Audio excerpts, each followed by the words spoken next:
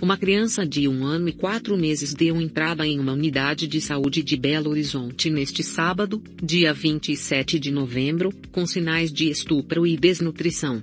A criança foi levada à unidade de pronto atendimento Barreiro após ter passado mal durante a madrugada. A menina foi levada à UPA pela avó. Elas foram até a unidade em uma viatura de polícia, que foi chamada pela avó que suspeitava que a menina teria sido estuprada.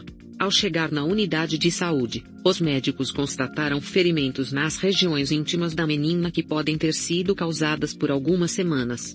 Além dos sinais de estupro, a menina apresentava indícios de má higiene, maus tratos e desnutrição.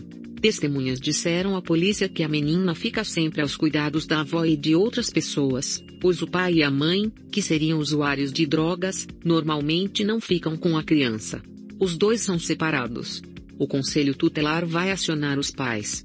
O caso será investigado pela Polícia Civil. Esta é mais uma notícia publicada no portal Minas.